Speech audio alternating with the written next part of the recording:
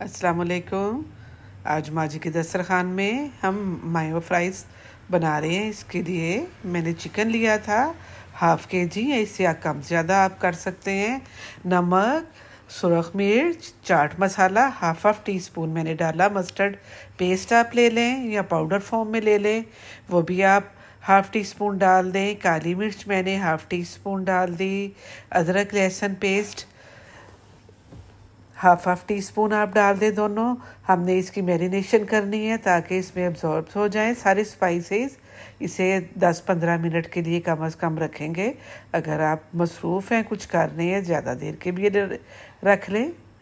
दूसरी साइड में मैंने आलू कटिंग कर लिए थे। उन्हें कटिंग करके मैंने एक दफ़ा गर्म पानी से निकाल लिए थे। ज़्यादा नहीं पकाने, उबलते पानी में से निकाल लें, इसको ज़रा ठंडा कर लें, हवा फिर जाए, फिर इसके अंदर दो चम्मच भर के कॉर्नफ्लोर और थोड़ा सा नमक।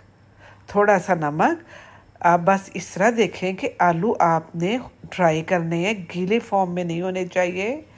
ऑयल रखें पैन में उसमें डालते जाएँ वन बाय वन फ्लेम बहुत तेज़ नहीं करनी बहुत तेज़ फ्लेम में आलू ऊपर से जल जाएँगे आपकी चिप्स ऊपर से जल जाएगी अंदर से नरम सॉफ्ट रहेगी। हमें इसे अंदर से भी हार्ड करने के लिए मीडियम फ्लेम पे करना है। दूसरी साइड में मैंने पैन रखा उसमें मैंने एक चम्मच ऑयल भर में मैंने डाला दो चम्मच ऑयल और दो चम्मच बटर इस्तेमाल कर सकते हैं। ज़्यादा भरने नहीं है आपने डेढ़ से दो चम्मच आप व्हाइट फ्लोर आप डाल दें। हमने इसकी पेस्ट बनानी है। हल्की आँच पे हमने इसे करना है। खुशबू आने लगे तो आप इसमें एक कप भर के दूध डाल दें और इसे पका लें। गुठली नहीं बननी चाहिए इसमें। चम्मच मुसलसल ही लाते रहे जब तक इसकी थिकनेस नहीं आ जाती। ये देखें कितना माशाल्लाह अच्छी थिकनेस आना शुरू हो गई। और इसके साथ साथ आप अपनी चिप्स भी देखते जाएँ। हल्की फ्लेम पे आपने करनी है। फ्लेम कभी भी आप तेज़ नहीं करें। ताकि जले नहीं पेस्ट हमारी रेडी हो गई है। इसमें अपने स्पाइसेस आप ऐड कर लें। अकॉर्डिंग टू टेस्ट आप कम ज़्यादा भी कर सकते हैं। हाफ़ चम्मच मैंने काली मिर्च डाली। इससे भी आप कम डाल दें। और साथ ही मैंने हाफ़ चम्मच मैंने दादर मिर्च डाल दी। और हाफ़ चम्मच ही नमक आप इससे कम भी डाल सकते हैं। और एक चम्मच मैंने भर के इसमें मायोनीस मिक्स करनी है। नीचे उतार के ज़रा ठंडी हो जाए, फिर हम मिक्स करेंगे। आप इसमें थोड़े से स्पाइसेस अगर कम रखना चाहते हैं, कम रख लें।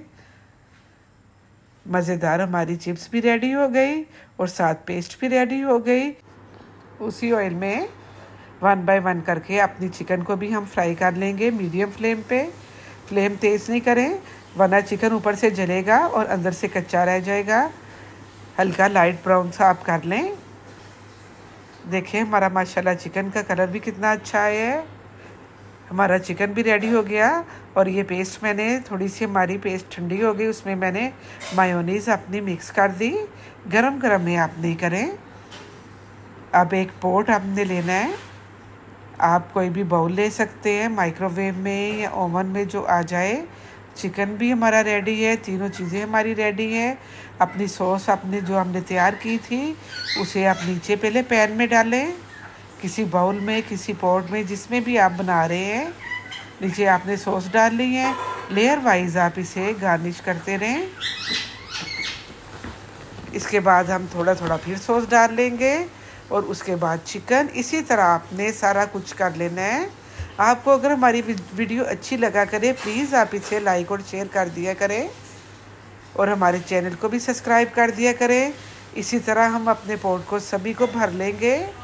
लेयर वाइज करते हुए सॉस अपनी डालते जाएँगे।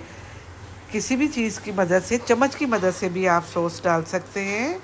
बहुत मज़ेदार, घर में रेडी आपकी मायो फ्राइज हो जाएगी। बहुत सस्ती और साफ़ सुथरी डिशेज़ अपने घर में बच्चों को रेडी करके दिया करें। इसी तरह आप सॉस डालते जाए। इस तरह डालने में बड़ी इजी रह जाता है। चम्मच से एक जगह गिर जाती है। उसके बाद आखिर में मैंने चीज़, ये भी होममेड चीज़ है, घर में तैयार की हुई। वो ऊपर आप गार्निश कर दें। थोड़ी थोड़ी सी आप डाल के और साथ ही ओलिव्स ये आप रखें। प्यारे, खूबसूरत लगेंगे और टेस्ट में भी मज़ेदार लगेंगे। किसी भी तरीके से ये बाज़ार से कम नहीं होगी।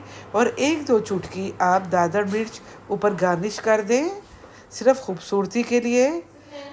तकरीबन आप सात से दस मिनट के लिए 180 टेम्परेचर पे इसे रखें।